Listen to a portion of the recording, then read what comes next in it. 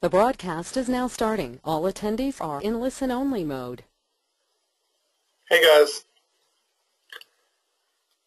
How are you doing?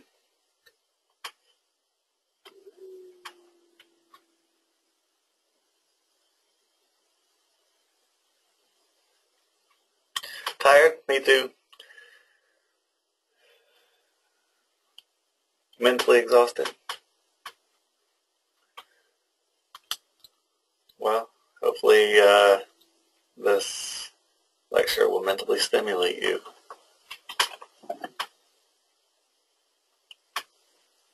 We're uh, we're going to go over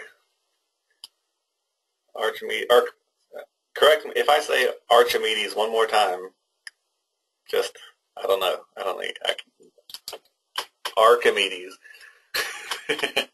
Archimedes.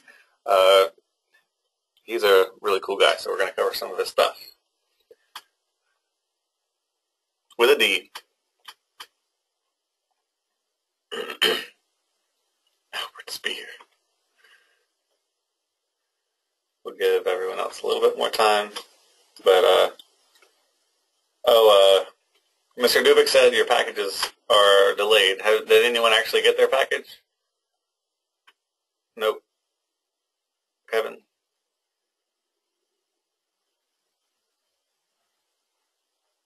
Nope. Yeah. Um, so no one else, no one did.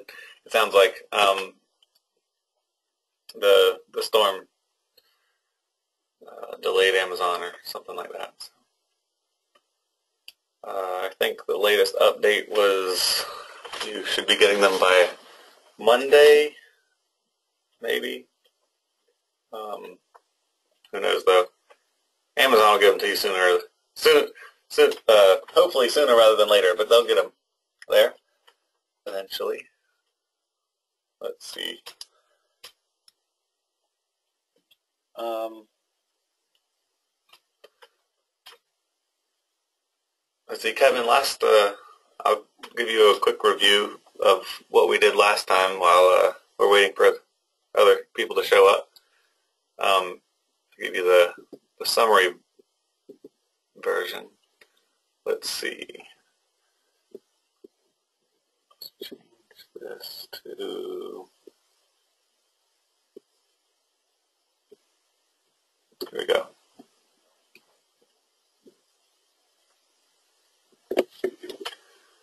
Uh, we kind of did an intro to simple machines, starting uh, with ancient engineering and ancient technology.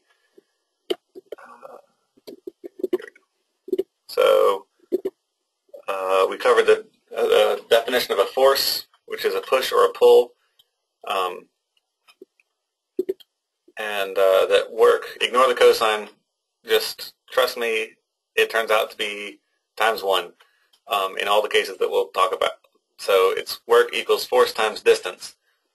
Um, that's the the main equation that we've been talking about. Um, the most important thing to know is that you can't. I mean, work work takes work takes some moving something takes a certain amount of work.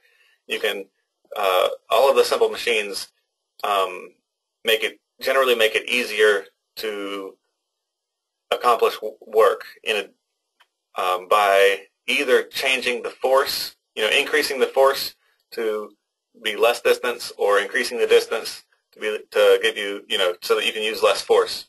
Um, usually, it's increasing the distance that you you move something, and you can that lets you apply less force and accomplish the same amount of work. Um, so, uh, some examples of that are um, well, well, an example of the, using the equation. uh, some examples of using this equation are um, this man picks up 25 kilograms uh, kilogram weight. He moves it up two meters, and so the work done on that weight um, is the force, which is not clear from the picture, but uh, that 25 kilograms is being pulled down, has a force down on it by gravity um, that's equal to 10 meters per second squared. Um, that's a constant. gravitational constant. And so the force it, pulling down on the weight is two, uh, 250 newtons.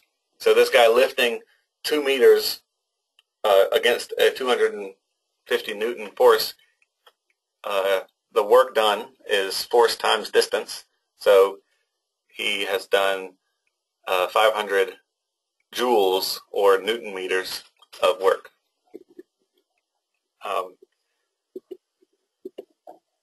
the, the math isn't so important as understanding the relationship.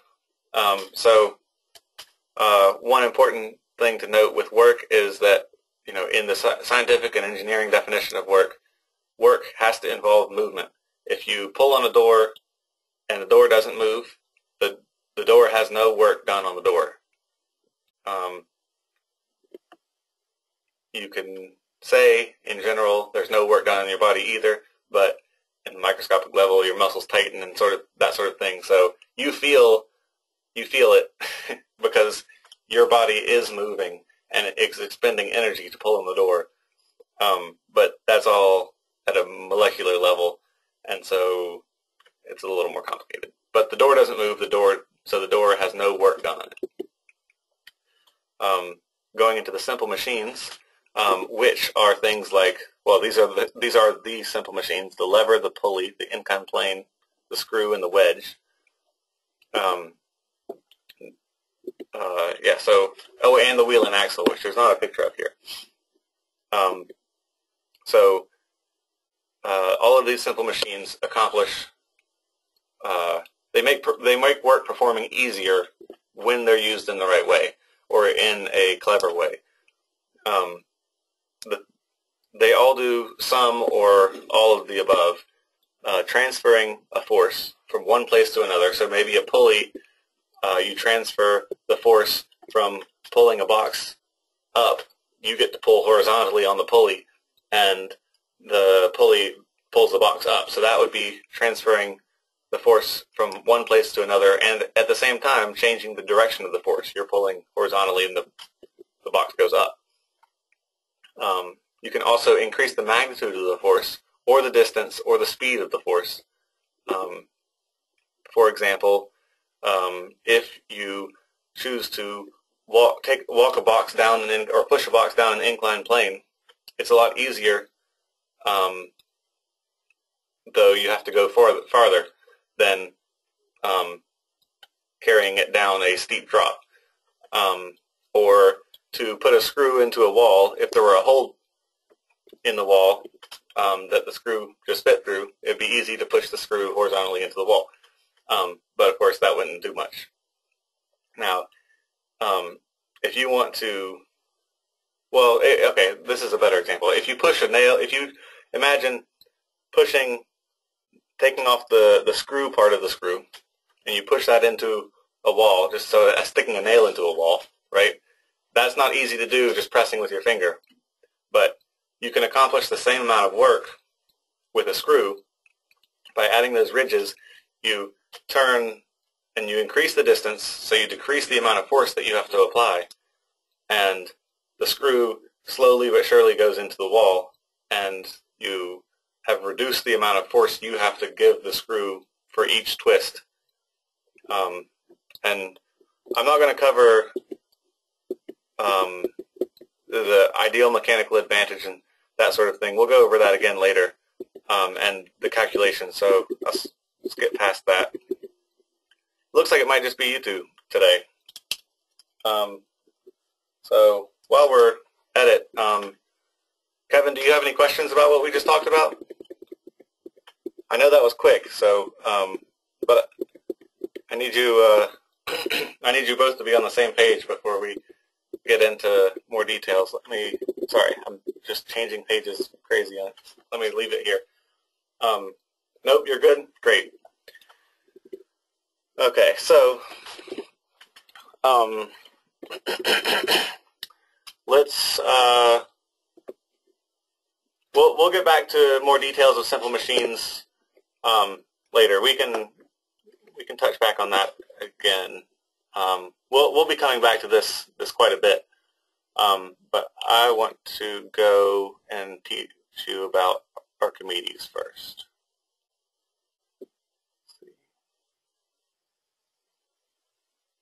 Yes. Um, we'll get into some specifics here, and then it, it'll make everything else more clear too, I think. So, uh, we might even actually watch a video. Um, so Archimedes did a lot of cool things. Um, we're going to talk about some of his simple machines, and he even combined a few simple machines to make more complex machines. Um, uh, especially with the steam cannon, you'll see there's a lot of different things going on there. Yes, there's a death ray, um, and the, the claw, which is uh, was pretty ingenious. Let's see. So, as you can tell, especially back in the day, um, the threat of war is responsible for, uh, as it says, huge advances in engineering and mathematics. Um, Roman and Greek weapons all over the place. You know, they were pioneering lots and lots of different weapons, um, which we'll see in a moment. Um, but even in the more recent times, in World War uh, II, the well, in World War One, the airplane advanced. Um, you know, or, Orville and Wilbur Wright flew the airplane. Uh, yes, Gabe, do you have Albert Speer? What about Albert Speer? He's a good architect? Okay, cool. Um, well, we could uh, we could touch on Albert Speer in a future lecture, maybe. Um, I'll, I'll make a note.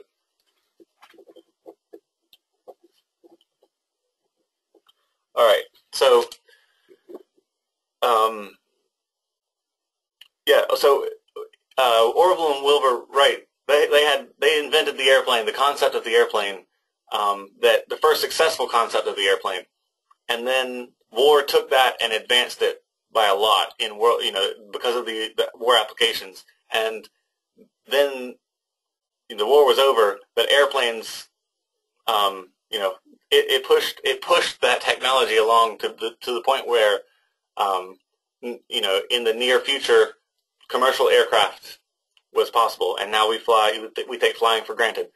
Um, similar things um, with uh, medicine. Um, penicillin was invented uh, by uh, a doctor. I can't remember his name um, or her name. Um,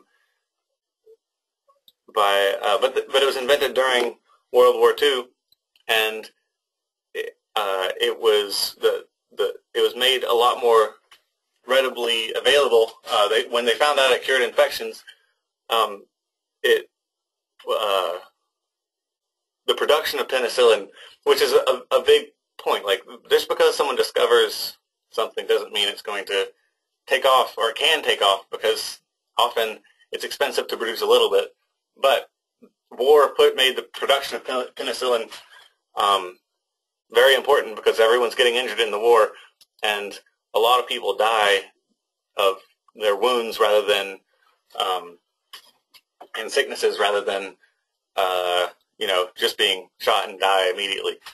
Um, so medicine, and then the last example as war as a motivation factor is um, uh, what was I going to say? World War II.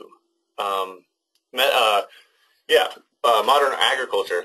Um, the a lot of the materials used in uh, the the factories were producing for uh, for war.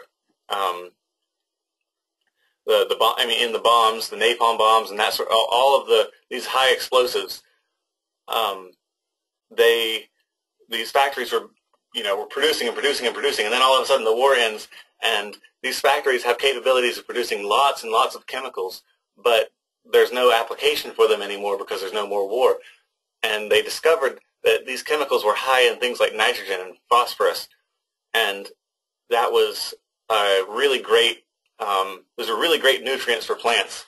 And so with small modifications, they could take these highly explosive chemicals and turn them into, uh, you know, fertilizer in of the modern era. and they can push plants to their extreme like growth potential, and uh, you know it, it, it took agriculture to a new uh, a new level.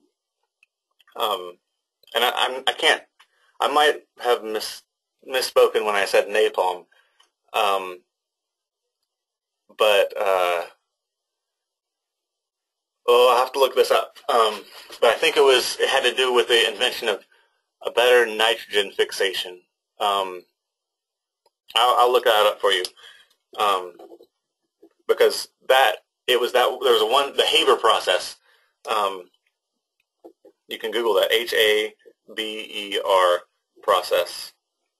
Um, that this guy turned um, he made nitrogen fixation so much easier um, and more efficient, and it led to the development of, of, all modern day fertilizers. Maybe not all, but you know, uh, you know what I mean. Um, anyways, uh, let's let's get on with uh, with the lecture. So back back and go way back many many years ago. Um, we've got Archimedes. Uh, he grew up on the island of Sicily. Um, he's known. Uh, well, let's let's watch the video first. It's 213 BC, and Syracuse here in Sicily is a critical link in the chain of an embattled Greek empire. The Roman Empire is on the ascendant, and Syracuse is their next stop. The Greeks built a number of city-states dotted around the Mediterranean, and when Rome began to expand, Syracuse was right in the way. Unfortunately for the Romans, this was the home of the genius Archimedes. He fortified the city walls with such incredible military contraptions that he stopped the Roman war machine dead in its tracks. One of those contraptions was the claw, a kind of crane that reached out over the city walls, grabbed the enemy Roman ships, and dashed them on the rocks. Archimedes was the greatest mathematician of the ancient world, and probably the greatest mathematical genius until Isaac Newton. His inventions range from the famous Archimedes screw to water clocks, pulleys, winches, and many more. When the Roman fleet approached Syracuse, legend tells us that Archimedes set fire to the enemy galleys with a new invention. But how did he do it? In a local school there's a statue of Archimedes which holds a clue to this devastating invention. It's possible that this large dish was a highly polished bronze shield that harnessed the power of the sun. The mirror on my bathroom wall might double as an ancient bronze shield. Okay, well the Greek soldiers may have uh, used their shields and then they could reflect the sun onto the boats, a bit like that. So how would it feel to be an invading Roman on the receiving end of this new weapon? If the Greek soldiers had lined up along the harbour walls, the reflection of the sun off their polished bronze shields would have acted like mirrors, concentrating the sun's energy onto the Roman ships. And the soldiers would have been completely dazzled, if nothing else. I mean, they wouldn't have been able to see where they were going at all. What further damage could they do if the Greeks had hundreds of shields, all reflecting the power of the Mediterranean sun at the hapless Romans? So, Marty, what have you got here? Well, I've got a few mirrors here. 124 to be ah, precise. Wow! 124 hexagonal polished steel mirrors. and each one is held in the centre and individually adjustable. On the back are four screws for each mirror, and that allows you to adjust oh, you it. can steer them all. And I can steer each mirror and, and focus, focus onto well, the boat. Well, I, I, happen to have a Roman boat in my hand. We'll see what we can do. You think you can set fire to this? We'll try. Pop on the post. Pop it on the post. Okay, well, hang on a sec. Hang on a sec. Don't fire yet. There. Right, okay, ready? do your worst. You go, coming up. Oh, it's bright. That is very bright.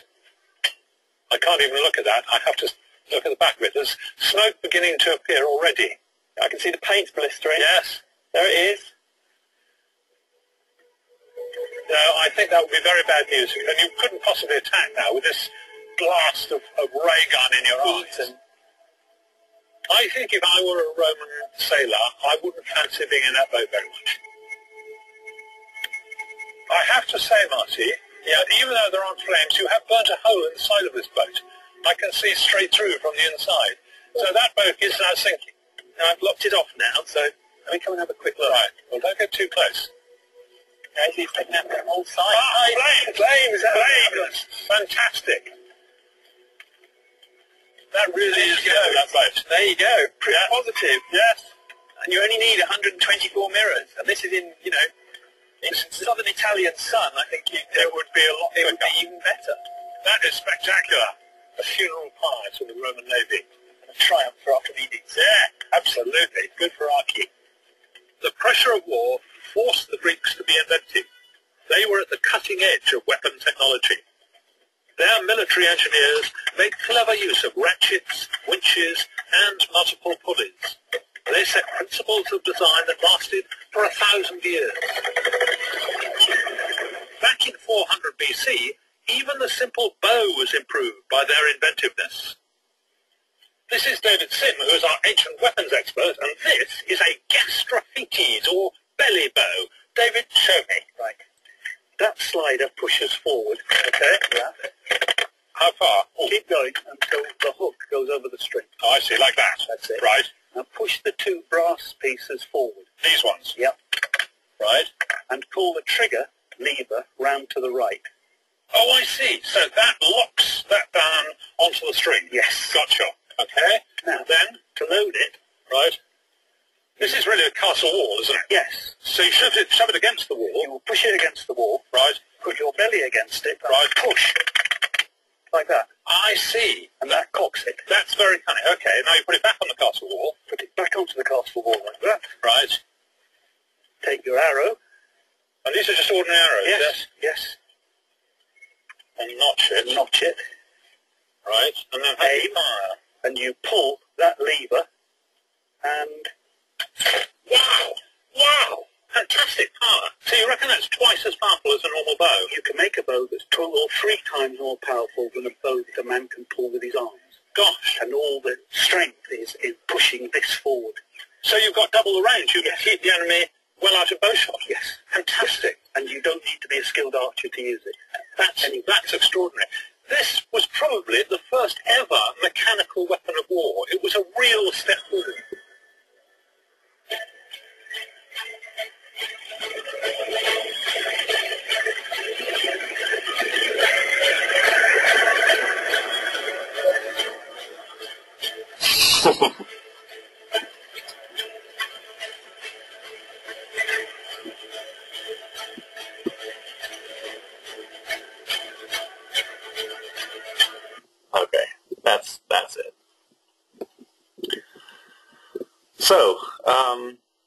An introduction to the type of inventions Archimedes developed. Let's see. Make sure I show you the right screen. Oh, I don't have to change screen. That's right. Right here. Okay. Um, and uh, I'd like to point out also that Greece was especially motivated uh, to invent better technology than their opponents opponents because they were outnumbered in many of the battles, yet they won.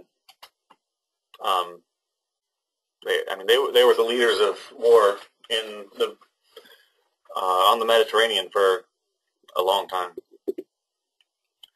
So uh, one of the first thing we'll talk about is the is Archimedes' claw, which, as you can see, um, well, you tell me what what um, what simple machines do you see here in this claw?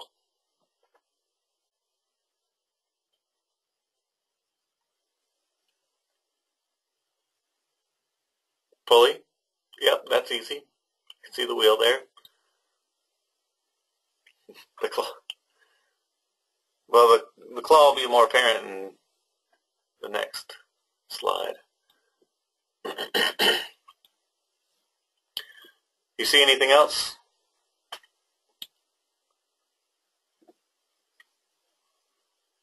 We've got,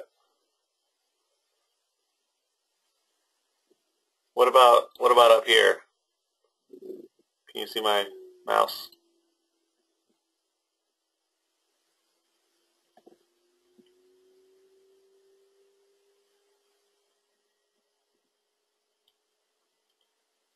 Not quite an incline, inclined plane. What if I told you it pivots right here? The claw is over here, over on the other side of the wall. A lever, good. So by combining two very simple machines, the two, two, all he did was combine two of the most basic machines in a clever way, and uh, he was able to rip boats out of the water and let them slam back in and start into capsize. And uh, you know, that that made uh, you know that that was one of the many inventions that let the outnumbered Greeks uh, defend their castles from in ship invaders. Uh, we got a, a much quicker video to, so you can actually see how this works.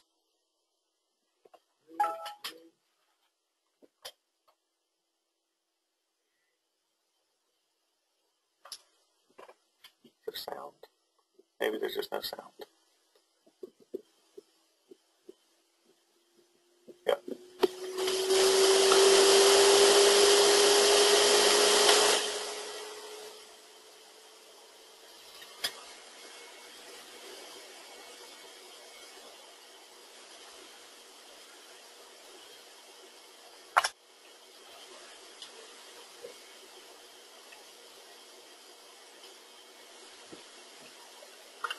No, that didn't break. I'll go back and show you again. So here, that's intentional.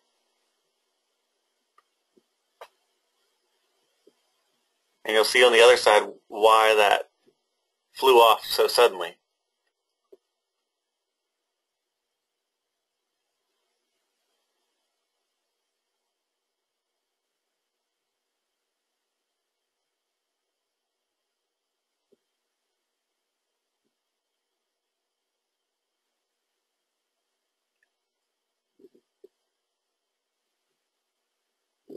So see, it goes up to the point, and so I guess yes, it did break, but it was by design.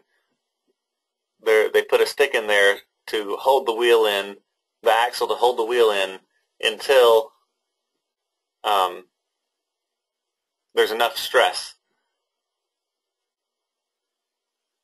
It looks like. Let's see here.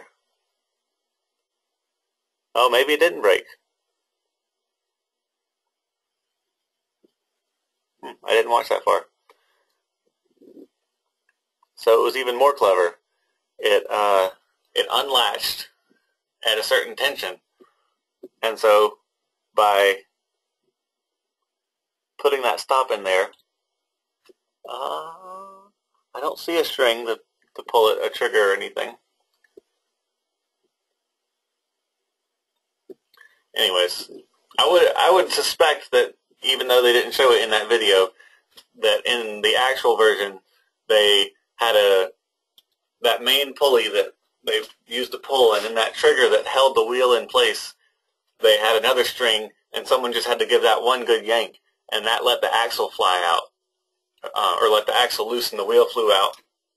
And so all you had to do was all, all you had to do was use the buoyancy take advantage of the buoyancy of the water and you can see here that the pulley is longer on the boat side than the pull side.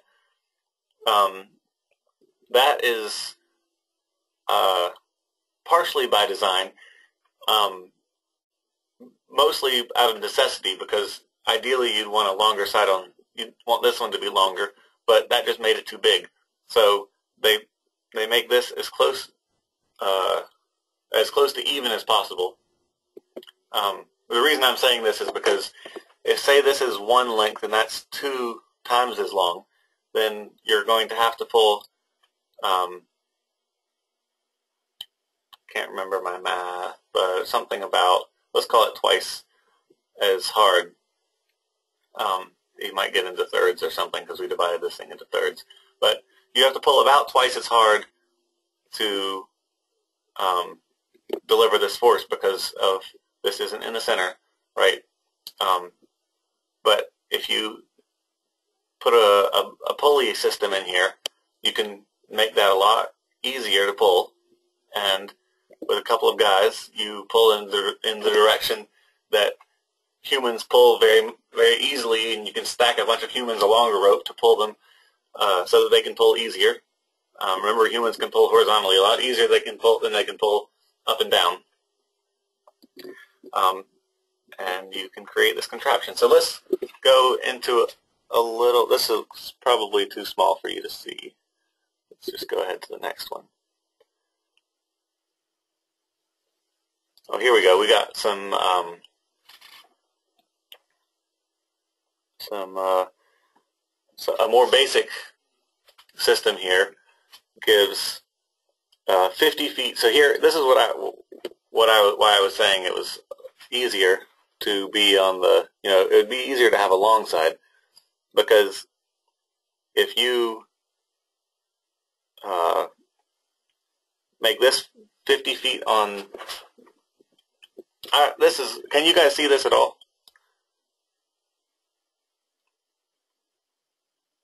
yeah you can see the numbers and everything okay um, I'm I'm struggling to see the numbers so I'm glad you can um, so up here it's 50 feet uh, on the, we'll call it the ground side, and 25 feet on the water side. So, uh, and they're showing a leaden weight on there.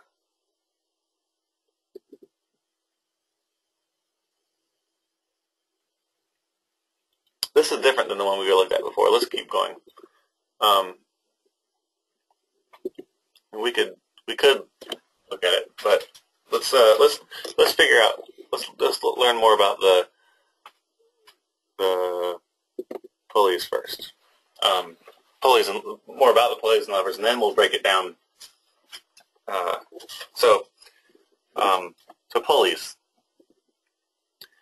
Um, this is a good. This is one of the better definitions of theoretical mechanical advantage um, I've seen. How much easier a pulley makes lifting a load is described by theoretical mechanical advantage. Um, what that means is um, if you uh, have a theoretical mechanical advantage of one, then it for every one unit of force on one side of the pulley, you get one unit of force on the other side of the pulley. Um, Now, a fixed pulley, it has a theoretical advantage of one, just like I was saying. You pull down on side P, and you the same amount of force is delivered on side W. Now, what gets interesting is when you combine this with a movable pulley. Now, if this pulley, when you pull up, this pulley will get closer to D the hook. And um, so what you're effectively doing is having, cutting in half the force you have to exert. And uh, that force you exert is doubled on the weight. So that gives you a theoretical advantage of two. For every one unit of force, uh, you apply two to the weight. Um, now, keep in mind, the work done is the same because you have to pull a further distance. Um, so work equals force times distance if you have to pull twice as far for this movable pulley and half of the, at half the force, force times distance, you end up coming at half times two and you still get one unit, you know, the same amount of work. So then we get really complicated, and we, you, if you, you call, this is a combination of pulleys. It's called a block and tackle. Um, you have some fixed pulleys and some uh, movable pulleys with a single rope passing through it. And the easy way to determine the mechanical advantage is it's the number of lengths of rope that support the movable, movable pulleys. So if you look at every, all three movable pulleys, you can count one, two, three, four. That's the those are the ones on A and B. One, two, three, four, five, six, seven, eight, nine, ten, eleven. So when you pull uh, on one side, the other side gets 11 times as much force delivered to it, um, which helps explain why uh, or how you can lift, I mean, a couple of guys can lift a several ton boat out of the water um, just by the using the principles of this one slightly more, you know, slightly more than simple machine. Um, so uh, this one just just illustrates the terminology another time for you. The fixed pulley um, changes the direction but doesn't change the force that you have to apply. The movable pulley changes the direction and the force. It cuts it in half. But the block and tackle changes the direction that you have to pull. You can pull in a lot more directions, but also it cuts it in more than half. So, pulleys. Um, now, the block and tackle was not, didn't exist actually when uh, no one had de developed that in uh, Archimedes' day. So, um, uh, you know, what difference would the block and tackle make on Arch Archimedes' claw? Well,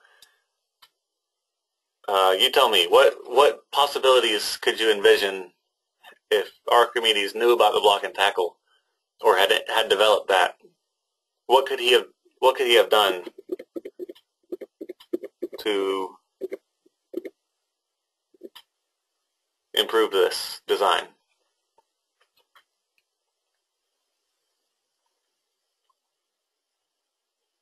Any ideas?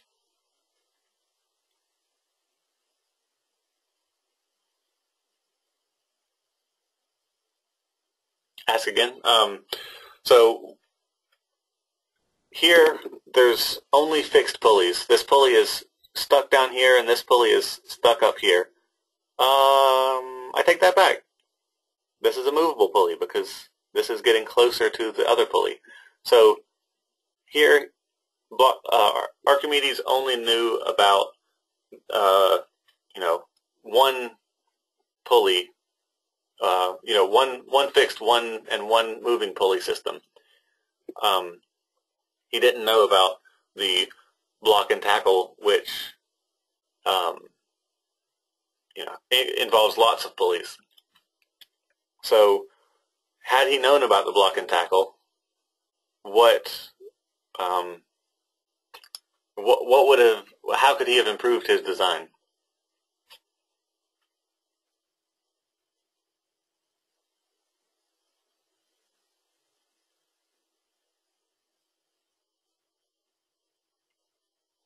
Yeah, so if he if he used a lot more pulleys, what would that accomplish?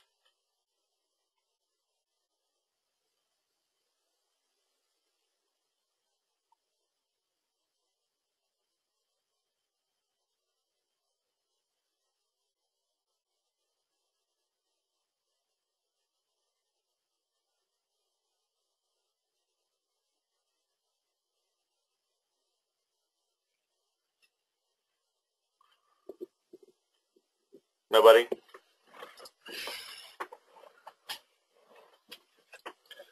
Well, he could have, um, it would have either, you could stick the lever further away so you could pick up ships from further away because that lever is extending out further and it's harder to pull a lever farther out.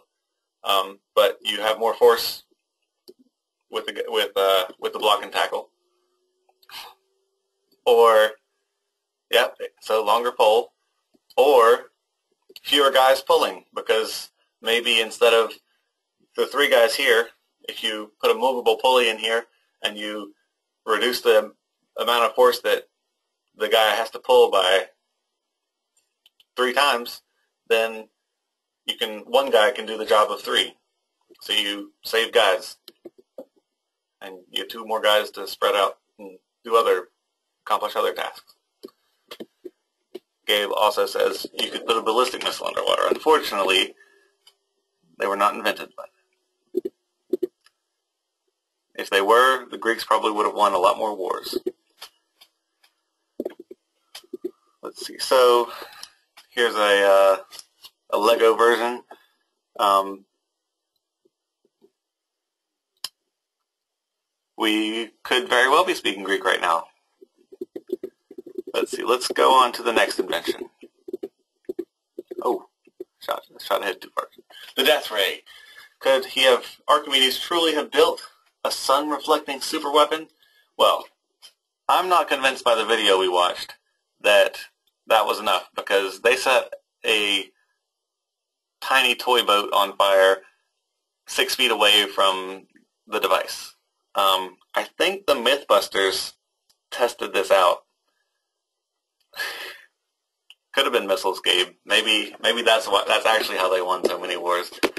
Um, I'm not convinced because uh, these boats were so much further away, and even if they had a thousand guys pointing, they could they you know they they needed they would need to focus that in one point, and the boats are moving. I don't know. I'm not sure if I believe it. Maybe maybe they're blinded, but I remain unconvinced. Um, but let's let's talk about what would happen. Maybe maybe we can work it out. You know how this theoretically would work. So um, this picture shows a boat coming up to shore, and the guys hold their mirrors, uh, pointing it all at the same spot, and the focused rays of the sun uh, all combine at the same time. Right? You get that? So uh, to be even more efficient, rather than having a flat reflector, um, if you have a specific point, you can um, form a parabola. Per, I mean, a parabola has a focus, a focal point. It's the perfect curve to focus all of its all of incoming energy um, that's parallel into a single point um, at a certain distance. So, um, you know, the problem with that is you have to adjust your parabola for every distance of ship. So, I don't know. It's possible, but unlikely. Uh, some other uses of uh, mirrors focused by the sun, you can boil a pot. Um, you can uh, here the uh, there's a line running. These are all focusing on a simil on a single pipe that is very difficult to see, but it runs just above the solar panel. And so these parabolic troughs reflect heat into the pipe. The pipe is so they, they heat up the water running through the pipe or uh, liquid, probably water. That liquid, um, heated up liquid, uh, builds up under pressure. The turbine turns that pressure into electricity and the water cools down, uh, condenses through the condenser, and uh, goes back into the pipes to be heated up again. So modern day use, uh, dish engine systems, similar. They use a, para a parabola to focus their energy on a single point uh, that converts somehow that light into solar solar panels, I guess, converts that into electricity.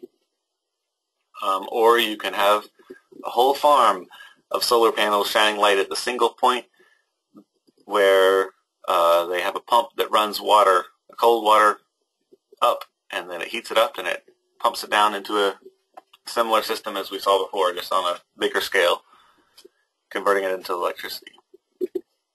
So, anyways, that's, uh, some people think it's possible, some people don't. Who knows?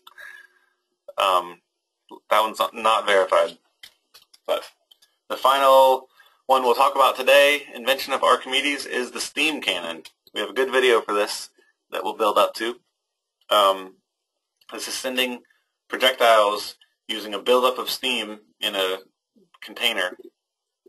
Um, so does it make sense to you guys if I said an increase in temperature means an increase in pressure? Does do you you take my word for it? Kevin says, I assume that means, yeah, word taken. Okay, so, well, you don't have to take my word for it because I can prove it to you. Well, I can show you someone who has proven it. Um, but first we'll analyze the states of matter. So solids, they're tightly packed together and they don't move. In liquids, uh, the molecules are tightly packed together and don't move. In liquids, they move around, but they're still tightly packed together. Gases are not packed together at all. They, um, at atmospheric temperatures and pressures, they act as though there's no other particles at all. They just go around, they spend most of their life not even running into another gas particle or anything. They just zip around. Um, maybe occasionally they'll collide, but rarely. They'll just, they float around. So, um, but they have a lot of energy and they need space for that energy. So, this bright guy named Gay-Lussac, he uh, tested uh, a lot of, um, he just did a lot of experiments with, uh, you know, the difference between liquids and gases, and he found that, um, or with gases, specifically just gases, he found that if you increase the temperature, um, it's not, the temperature doesn't just increase when pressure increases, but it increases proportional to the pressure. Um, oh, where's the equation? Okay, well, no equation. Uh, you can just uh, look up Gay-Lussac's law to find out what he did, I guess. Sorry about that. I, I told you, you just have to take my word for it, like I said. Okay.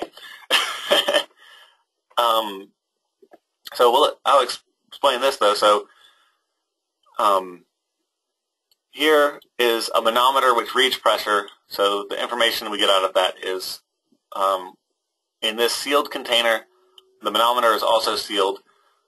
There is some gas particles sitting uh, contained in the beaker and being kept cold by ice. And this manometer reads one atmosphere. This is actually exactly the experiment that he performed. Um, then he boiled that ice, he, so boiling water. Um, so this temperature inside has nowhere to expand. Um, so since it has nowhere to expand, the pressure inside increases. Um, and he he learned that by reading the manometer, finding that it now reads 1.37 atmospheres of pressure. That's a unit of pressure. So you increase the temperature, you increase the pressure in a sealed container. Now, as soon as that container comes un becomes unsealed, what happens?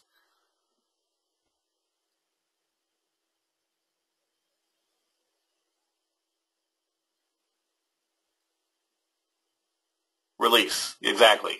Boom. If it's a can, or fizz if it's a soda can. So let's watch the steam cannon video. It's time to light this homemade super weapon up. This is the first time he attempts to fire it. We're going to find out today whether Archimedes was right, whether the steam cannon could have fired. And I couldn't be more excited.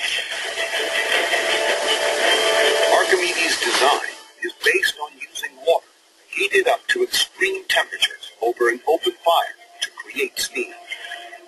When the steam is released, it propels a cannonball. Working with steam under this kind of pressure can be deadly. We're going to fire a five-pound cannonball 150 feet using nothing but a couple ounces of water. Pay attention to how much water he pours in. That's all it takes. Did you see that?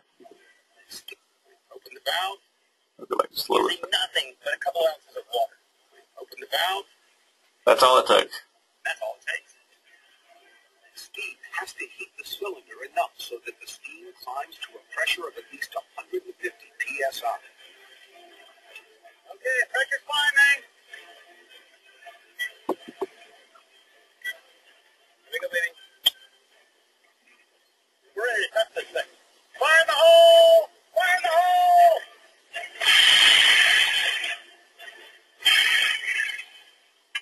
Holy crap, look at that!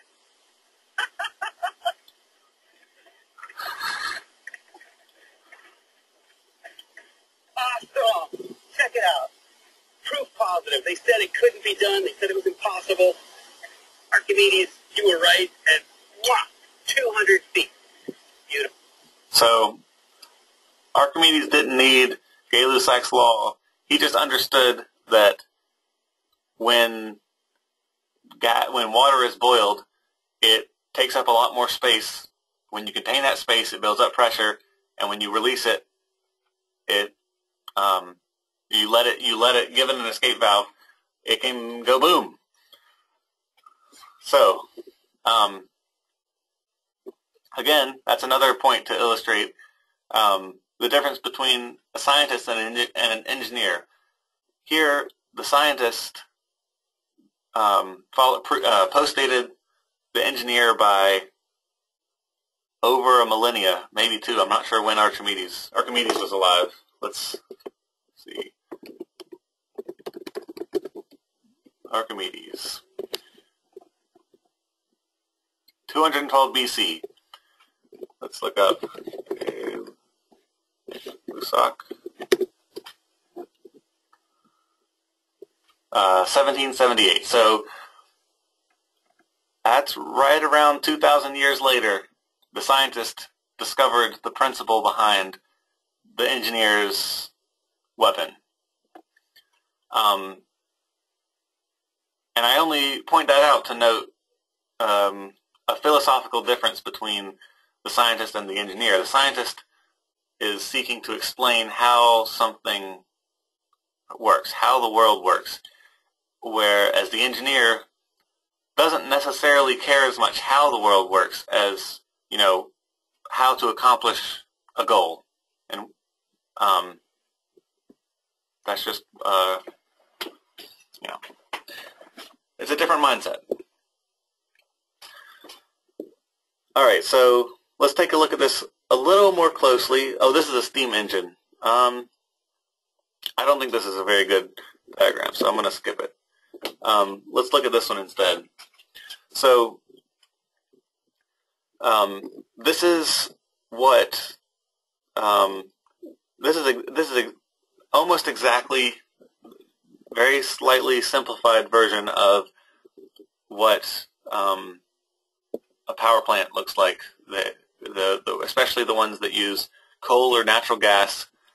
Um, they um, the shipment of coal is delivered or the pipeline of natural gas um, is piped into the plant. They have humongous uh, furnaces that um, are constantly, uh, you know, boiling water. A, a, gigantic version of your pot over the natural gas burner or the coal fire, charcoal fire. Um, they boil this water. This this boiling water has a lot of energy given to it by the um, chemical energy of the um, natural gas or coal. This energy gets pushed through. The, I mean, this the gas gets pushed through the turbines, um, and the turbines take some of that energy. And because they're taking they take the energy from uh, take this energy away uh, from the superheated steam, it condenses the steam, um, and that's where it's collected in the condenser, and it returns back. Um, now, one problem, does anyone see a problem with this diagram right here? Just if, it, if you built it exactly the way it looks?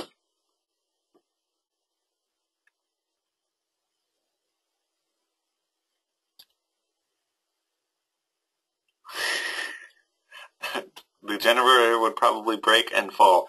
Well, let's assume it's sturdy. Let's assume you build it with materials that are going to you know, these are just diagrams. This is just how it's supposed to look, and some mechanical engineer builds it to not break.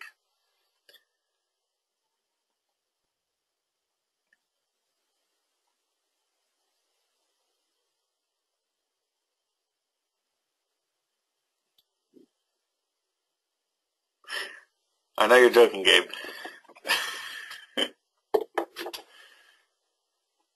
so, I guess I guess I'm like actually looking for a slightly nitpicky detail, but uh, what if I told you you need a one-way valve somewhere? The, you said the entire system with chemical engineering must be floating on that energy because the whole half would fall. So, no, this is the floor. This is on the ground. In the boiler, which which side of the boiler? The boiler to the turbines or the boiler to the condenser?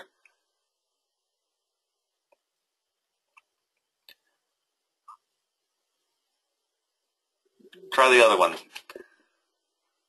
So Gabe says you need a one-way valve here, but if you had a one-way valve here, then your boiler water or boiler, boiled air will try to force its way through and hopefully get through because that's where it's supposed to go. But it'll also force its way up, back up through the condenser.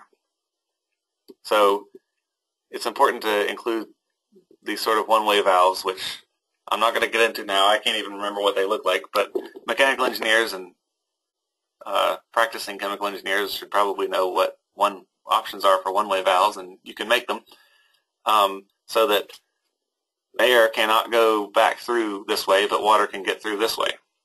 Um, you can Google it if you want to. You're interested in more, but let's let's go. Okay, so time is not permitting to start the Google site presentation. Uh, have you, have both of you two made Google Sites in your last uh, last time? Um, you know. Yep, both of you two. Okay, great. Um, and well, um, how many are in the class? Uh, there should be four people in this class, but um, Actually, there could be as many as six, but um, I'm not sure. I think the, the, there was an issue with the there's no 10 o'clock class this time, and some people were struggling. So we're trying to accommodate as many people as we can, but um, I'm not sure. Four people showed up to the first one, so at least four people are free if they have the same schedule, I guess. But uh, we'll see. Um, if there's just the if it's just the two of you, then uh, we'll uh, just get to go at your speed and uh, give you that much more attention. Catapults next week, yes, uh, and hopefully. You're funny, Gabe. Um, hopefully, what was I going to say? I lost my train of thought.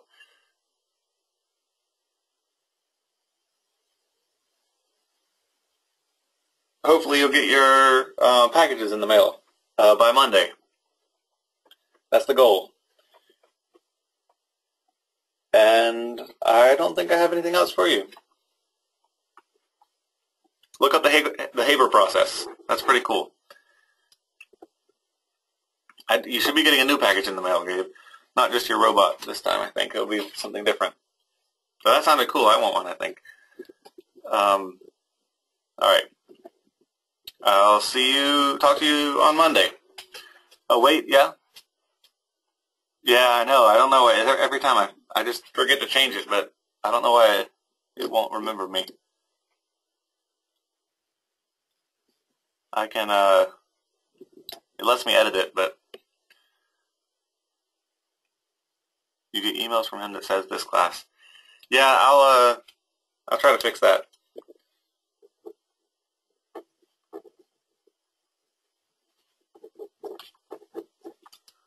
All right. You too. Have a good night.